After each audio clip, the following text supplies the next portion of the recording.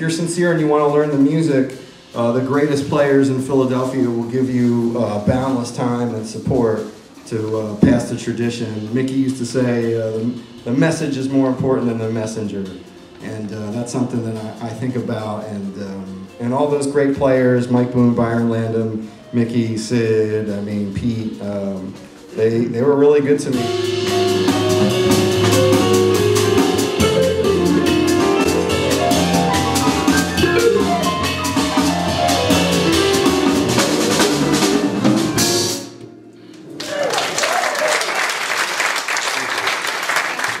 Mm-hmm.